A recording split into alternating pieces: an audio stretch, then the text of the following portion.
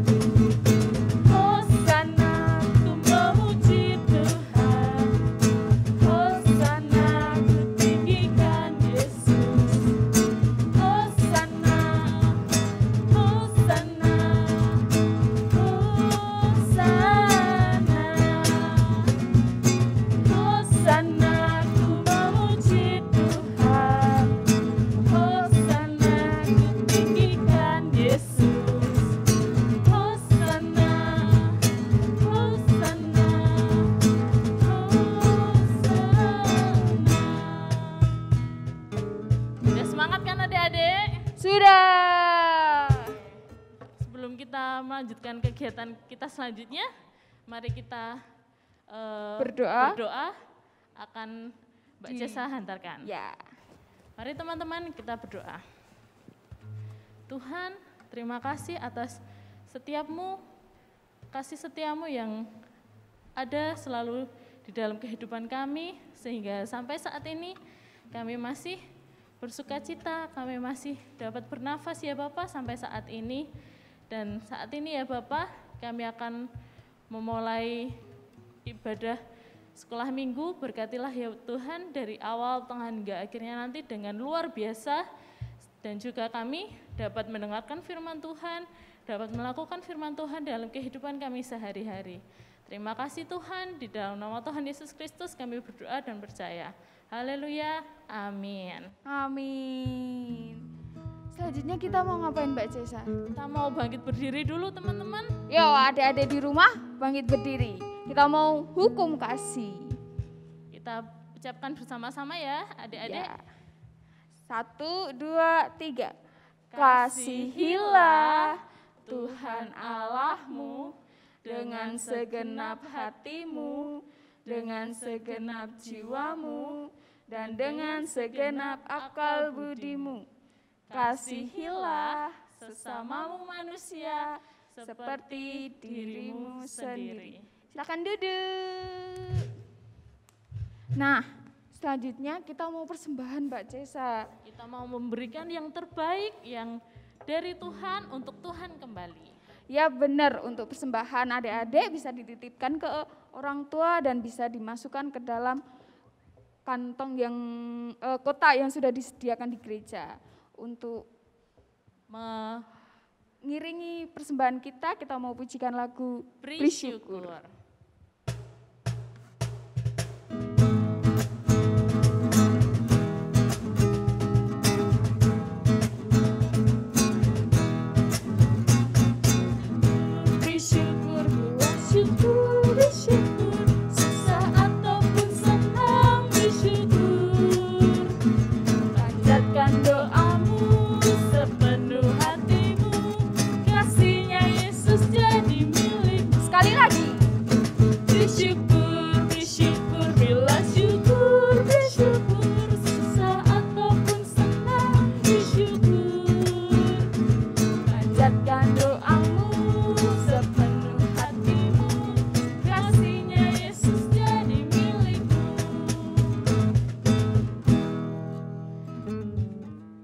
Beri syukur. untuk persembahan kita, eh, Mbak Ansak yang akan pimpin.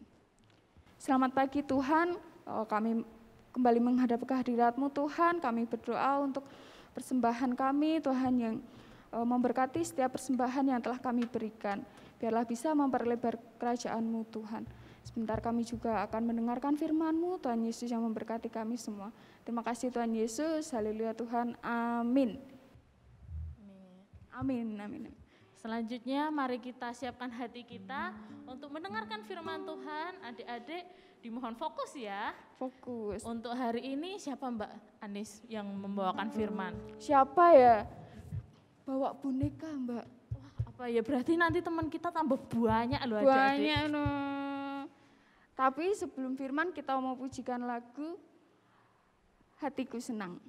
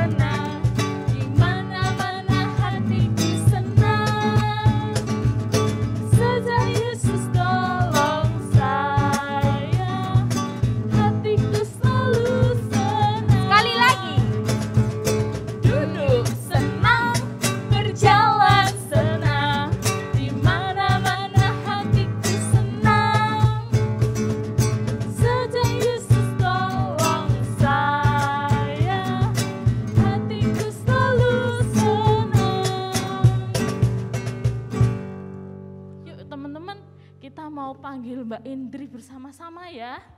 Oke, satu, dua, tiga. Mbak Indri. Oh, masih jauh di sana. Yuk kita panggil sekali lagi. Satu. Kurang kayaknya ya Mbak. Iya, ya. satu, satu, dua, tiga. Mbak Indri.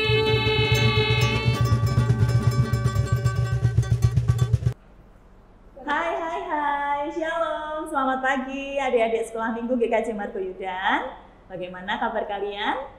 Semoga semuanya sehat-sehat ya. Kita akan bersama-sama merenungkan firman Tuhan, tapi sebelumnya kita akan berdoa terlebih dahulu. Mari Mbak Indri antarkan. Bapa di dalam surga, Bapa yang kami sembah di dalam Tuhan Yesus Kristus, sungguh kami mengucap syukur Bapa, pagi ini kami boleh bersama-sama bersekutu, meskipun secara daring. Sebentar Bapa, kami akan mendengarkan firman-Mu, merenungkan firman-Mu, Mari Tuhan memberkati anak kami satu persatu di rumah mereka masing-masing supaya boleh mengerti firman yang ditaburkan. Bapak, kami juga menyerahkan hambamu yang akan menyampaikan firman. Tuhan boleh berkati supaya firman yang ditaburkan boleh berkenan di hadapanmu Bapak. Kami menyerahkan Bapak waktu penyampaian firman Tuhan dari awal, pertengahan, hingga akhir ke dalam tangan kuasamu. Hanya di dalam nama Yesus kami telah berdoa dan mengucap syukur. Haleluya. Amin. Adik-adik, hari ini ada yang spesial loh. Mbak Indri bawa temen nih. Uh, siapa ya temennya? Mbak Indri bawa dua temen loh. Nih, lihat ya. Tunggu dulu.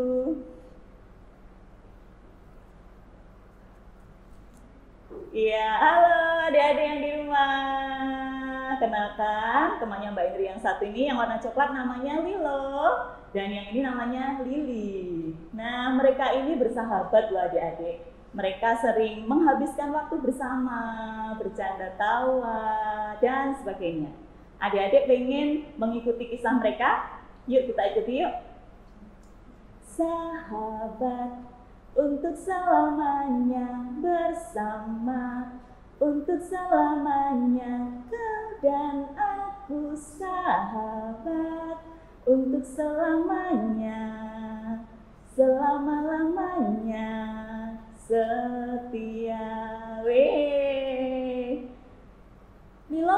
aku bawa brownies loh kamu suka banget brownies kan mau nggak Eh, mau banget lah. Ah, Lili tuh emang kamu tuh sahabatku yang baik banget loh. Kamu tuh ngerti uh, makanan kesukaanku, bawain lagi. Sini sini, aku cobain. Wah, enak banget. Ini ini yang buat kamu ya, Li. Tentulah. Makasih banget ya, Lili. Kamu ah beneran sahabatku yang terbaik deh. You know me so well. uh, by the way, setelah makan brownies, kayaknya enaknya kita main-main yuk, Lili. Kamu suka main voli kan? Suka lah. Yuk, yuk, kamu bawa bola volinya. Oke, yuk kita main ya.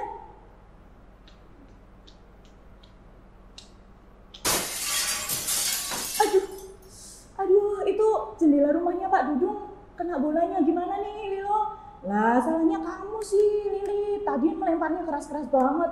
Loh, tapi aku takut kalau dimarahin Pak Dudung gimana? ya kamu yang harus ini dong bertanggung jawab. Loh kita kan mainnya bareng Lilo. Loh kamu kok gitu sih Lilo? Kita katanya sahabat. Ah, nggak mau lah kamu sendirilah nanti kalau dimarahin Pak Dudung kamu ya yang bertanggung jawab. Ah Lilo kok gitu? Ah Lilo katanya kamu sahabatnya Lili. Gimana nih nah adik-adik di rumah ini tadi sepenggal kisah persahabatan antara Lilo dan Lili gitu ya Pernahkah adik-adik uh, berteman, bersahabat gitu ya? Pernah nggak di posisinya Lilo atau pernah nggak di posisinya Lili gitu ya? Mungkin dari kalian ada yang benar-benar tulus mengasihi sahabatmu, memberikan segala sesuatu untuknya gitu ya. Tapi ternyata uh, sang sahabat kita yang satunya maunya di saat sukanya aja nih gitu ya. Tapi ketika ada masalah dia nggak mau deket-deket sama kita, dan uh, membiarkan kita menanggung masalah itu sendiri. Hmm, sedih banget gitu ya. Nah, adik-adik, uh, hari ini kita akan sama-sama belajar tentang firman Tuhan yang berjudul Susah Senang Bersama. Dari kisah Lilo dan Lili tadi, kita sudah punya gambaran yang uh, nampaknya cukup jelas ya bagaimana persahabatan itu yang seharusnya. Nanti kita akan bahas lebih lanjut. Uh, Mbak Indri akan mengajak kalian membuka satu ayat firman Tuhan ya. Di situ juga ada seorang tokoh yang boleh mengisahkan bagaimana berelasi dengan baik ya, bagaimana menjadi sosok uh, seseorang yang bisa menemani sahabat orang lain yang di sekitarnya baik dalam susah maupun senang. Ya, mari kita siapkan Alkitab kita masing-masing adik-adik.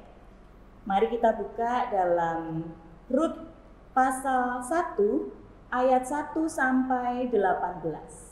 Ya, silakan adik-adik membuka Alkitabnya dulu.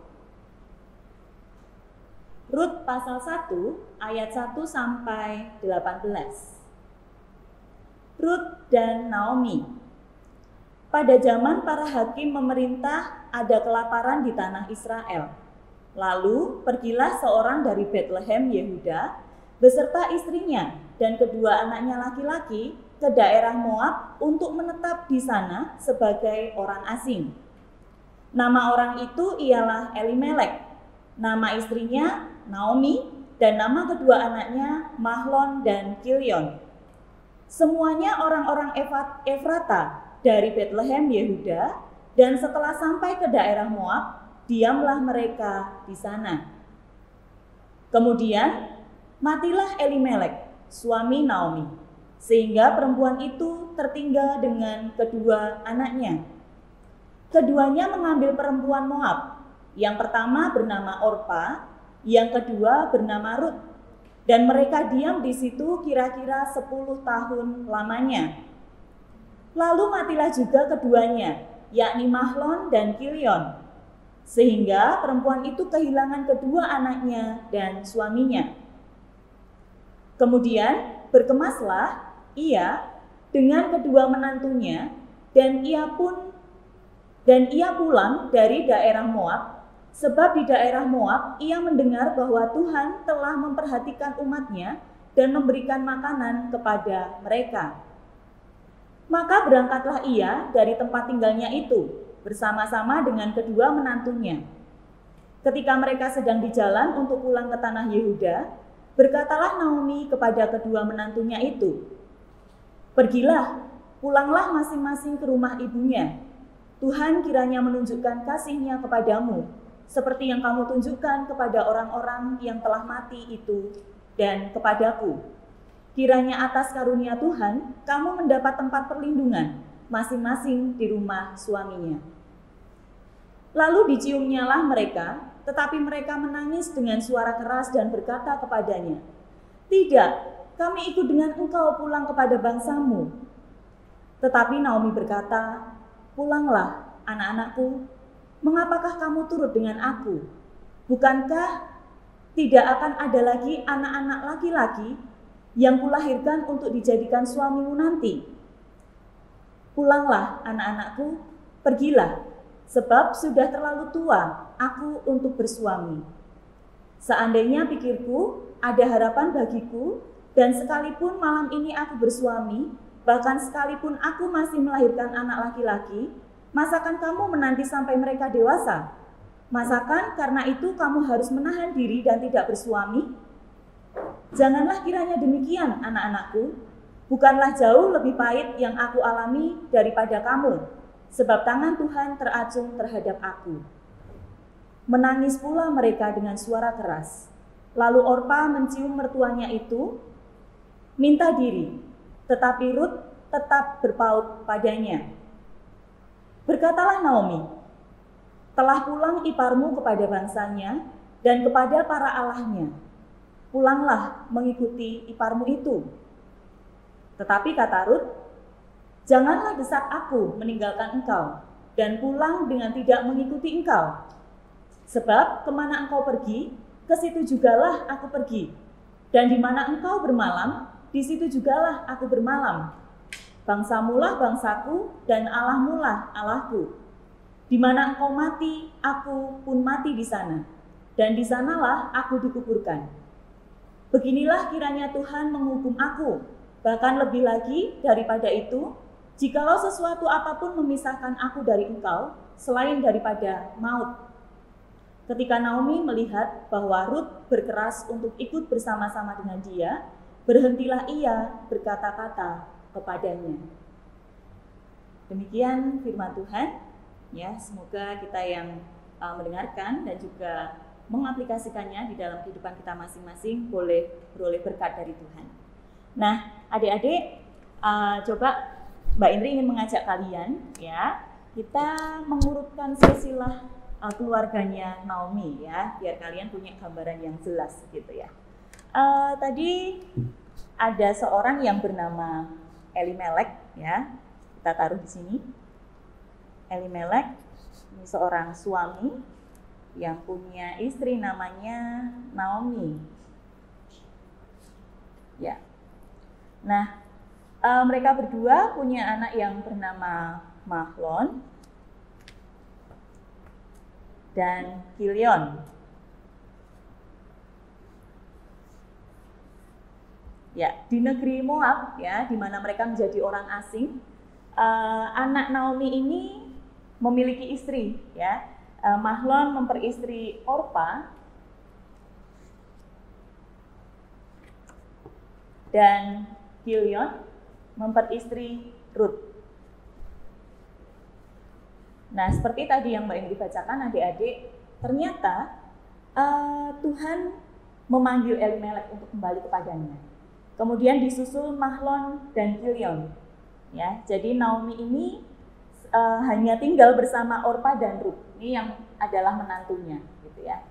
Nah, karena Naomi merasa bahwa menantunya ini bukan anaknya gitu ya. Jadi ketika anak laki-lakinya meninggal, uh, Naomi meminta untuk menantunya ini meninggalkannya, gitu ya.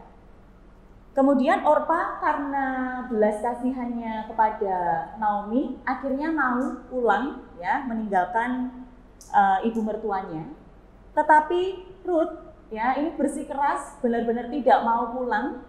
Dia maunya menemani Naomi ya di bangsa Moab. Nah, adik-adik, hari ini kita belajar beberapa hal gitu ya satu topik yang memang kita renungkan bersama pagi ini tentang susah senang bersama.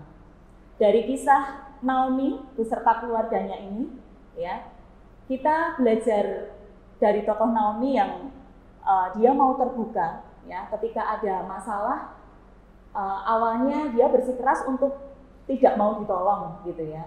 Nah, kita pun mungkin ketika uh, punya teman, gitu ya, ketika kita ada masalah, karena kita tidak mau merepotkan orang lain, karena kita mungkin pekewo ya.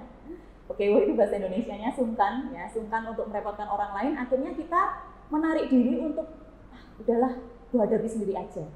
Nah, padahal seharusnya bukan demikian ya adik-adik. Uh, kita diajarkan dari tokohnya Naomi ini, ketika kita menghadapi sebuah masalah, kita harus punya teman.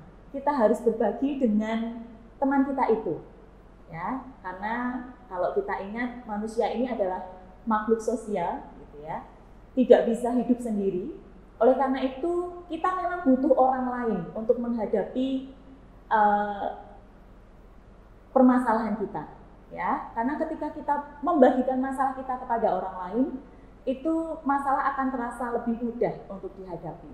Nah karena Ruth yang bersikeras tidak mau pulang, ya maunya menemani ibu mertuanya, akhirnya Naomi mau membuka diri menerima pertolongan dari orang lain. Ya, jadi kita belajar dari Naomi supaya kita mau membuka diri ya kepada orang lain ketika kita menghadapi masalah, supaya kita tidak stres, ya, supaya kita tidak merasa menjadi orang yang paling menderita di dunia ini, gitu ya. Ketika kita mau terbuka dan berbagi dengan orang lain. Nah, dari tokoh Ruth, adik-adik, ya, kita belajar bagaimana mempunyai prinsip prinsip hidup yang kita pandang baik dan kita perjuangkan, meskipun awalnya ditolak.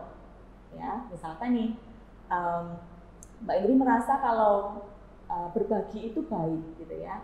Tapi mungkin dalam kondisi tertentu orang lain uh, melihatnya sebagai sebuah ya entah uh, kesombongan atau apa. Tapi saya bersikeras, prinsip saya itu benar, berbagi itu baik.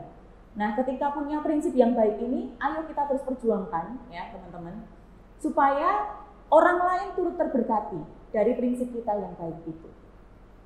Nah, uh, selain dari tokoh Naomi dan Ruth ya, adik-adik, coba kita kembali ke dua boneka lucu ya, temannya Mbak Indri di awal tadi. Ya, ada siapa tadi namanya? Masih ingat nggak?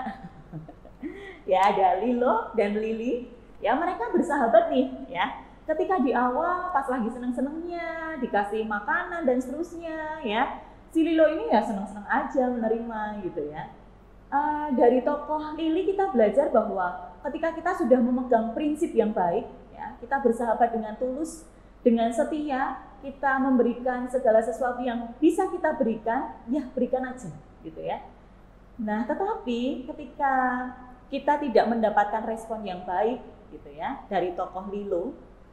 Uh, ini jangan kemudian langsung membuat kita berputus asa, kemudian mutung. mutung itu maksudnya tidak mau berbuat baik lagi gitu ya. Kita tetap tetap harus mempertahankan prinsip kita. Nah, dari tokoh Lilo nih ya. Ini yang memang harus benar-benar dirubah ya tinggal lagunya. Ketika kita menjadi seorang sahabat, ya atau apa pun itu peranan kita di dalam relasi kita ya tidak hanya dengan sahabat kita teman kita atau mungkin uh, dalam relasi kita dengan orang tua dengan sahabat dengan saudara kita dan seterusnya ya mari kita belajar untuk ada tidak hanya saat suka ya tetapi belajarlah juga ada saat mereka susah ya ketika teman kita, sahabat kita, saudara, atau mungkin orang tua kita sedang ada masalah, bukan kemudian kita lari, ya. Kita lari dari masalah, kita bersembunyi, tidak mau menolong, uh, mengabaikan saja, ya, bukan demikian. Tetapi mari kita hadir. Kita ada di saat orang lain susah, di saat teman, sahabat, saudara, orang tua kita itu susah. Nah, adik-adik, uh, hari ini kita benar-benar belajar bagaimana kita bisa menjadi sosok pribadi yang ada bagi orang lain saat senang maupun saat susah. Nah, uh, ternyata tidak hanya dari tokoh Naomi dan Ruth dan juga Lilo dan Lili, ya. Kita punya satu pribadi yang luar biasa, yang begitu mengasihi kita, yang selalu ada untuk kita, tidak hanya saat senang, ya, tetapi juga ada di saat susah. Adik-adik ingat lagunya ini nggak sih? Di suka kau ada, di duka kau ada, di atas dan di bawah kau ada. Di suka kau ada, di dukaku kau ada, karena engkaulah Yesusku. Baik, ini sampai merinding adik-adik ya. Karena uh, kita punya satu pribadi, ya Tuhan kita, Yesus Kristus, yang begitu mengasihi kita, selalu ada buat kita saat suka maupun duka. Ya, mari kita meneladani dari Tuhan Yesus sendiri yang sudah memang meneladankan begitu mengasihi kita gitu ya. Dan juga kita belajar dari Lilo dan Lili, belajar juga dari Naomi dan Ruth ya. Mari kita menjadi anak-anak Tuhan yang selalu ada bagi orang-orang di sekitar kita, baik di dalam senang maupun susah. Mari kita menutup firman pagi ini di dalam doa. Sungguh kami mengucap syukur ya Tuhan, pagi ini kami boleh bersama-sama belajar bagaimana kami menjadi pribadi yang ada untuk teman-teman, sahabat, saudara, orang tua kami saat senang dan susah. Mari Tuhan, ajar kami untuk bisa meneladani Engkau, Yesus yang begitu mengasihi kami, baik di saat kami susah maupun senang. Kami juga mau meneladani dari tokoh Ruth yang memiliki prinsip hidup yang mau pantang menyerah untuk mau hadir bagi orang lain. Dan kami juga belajar dari Naomi yang mau membuka diri di saat mengalami masalah dan mau berbagi sehingga tidak merasa bahwa hidupnya ini tidak berharga dan paling menderita. Bapak, hambamu berhenti berkata-kata, tapi kami yakin dan percaya roh kudusmu terus yang menuntun anak-anak kami di rumah masing-masing untuk terus memaknai firman pagi ini dan untuk terus menyertai mereka mengaplikasikannya di dalam kehidupan mereka masing-masing. Bapak di dalam surga, kami mau menyerahkan waktu sekolah minggu selanjutnya ke dalam tangan kuasamu. Hanya di dalam nama Yesus kami telah berdoa dan mengucap syukur. Haleluya. Amin. Ya, kembali ke kami berdua, Mbak Anis dan Mbak Cesa masih di sini. Gimana adik-adik? Tadi udah mendengarkan firman Tuhan belum? Sudah dong, Mbak Anis saja mendengarkan. Nah, kita hari ini belajar apa ayo? Ayo yang di sana, yang di sana. Iya, bener banget. Kita, apa? Kita belajar buat menjadi orang yang selalu ada baik susah maupun senang. Seperti Tuhan Yesus loh Mbak Tuhan Yesus itu selalu ada buat kita semua loh. Baik susah, baik kita suka maupun sedih. Ya, gitu. Ya, bagus. Kalian juga harus menerapkannya yang di dalam kehidupan kalian sehari-hari ya adik-adik sama kakak kalian, sama adik kalian, sama orang tua kalian dan sama, semua orang. Ya, sama teman-teman. Oke, selanjutnya kita mau pengakuan iman rasuli. Yuk adik-adik bangkit berdiri. Sudah? Sudah? Oke, kita mau pengakuan iman rasuli. Pengakuan iman rasuli. Aku percaya kepada Allah Bapa yang Maha Kuasa, Kalik langit dan bumi, dan kepada Yesus Kristus anaknya yang tunggal Tuhan kita, yang dikandung daripada roh kudus, lahir dari anak darah Maria, yang menderita di bawah pemerintahan Pontius Pilatus, disalibkan, mati dan kuburkan, turun ke dalam kerajaan maut. Pada hari yang ketiga, bangkit pula dari antara orang mati. Naik ke surga, duduk di sebelah kanan Allah Bapa yang Maha Kuasa, dan akan datang dari sana untuk menghakimi orang yang hidup dan yang mati. Aku percaya kepada Roh Kudus, gereja yang kudus dan am, persekutuan orang kudus, pengampunan dosa, kebangkitan daging dan hidup yang kekal. Amin. Silahkan duduk. Ya, sebelum kita uh, mengakhiri sekolah minggu pada Pagi hari ini, mari kita bersama-sama tutup di dalam doa. Kita mau Berdoa, berdoa bersama-sama Bapak kami. Ya. Mari kita berdoa. Bapa kami yang ada di surga, dikuduskanlah namamu, datanglah kerajaanmu, jadilah kehendakmu di bumi seperti di surga. Berikanlah kami pada hari ini makanan kami yang secukupnya, dan ampunilah kami akan kesalahan kami, seperti kami juga mengampuni orang yang bersalah kepada kami. Dan janganlah membawa kami ke dalam pencobaan, tetapi lepaskanlah kami daripada jahat. Karena engkaulah yang punya kerajaan dan kuasa dan kemuliaan sampai selama-lamanya. Amin. Ya, Mbak Anis punya pengumuman buat adik-adik. Untuk adik-adik yang masih duduk di kelas eh, Prateka, TK kelas 1 dan 2 SD masih tetap sekolah minggu online ya di YouTube GKJ Margo Yudan eh, sama di Zoom. Kalau untuk Zoomnya itu minggu ketiga atau nanti ada pengumuman lebih lanjut. Dan untuk adik-adik yang sudah kelas 3, 4, 5, 6 sampai SMP bisa sekolah minggu offline atau onsite di gedung kegiatan Gereja Margoyudan jam 9 pagi. Nah, untuk menutup sekolah minggu ini kita mau pujikan lagu Kudaki daki. Daki Daki.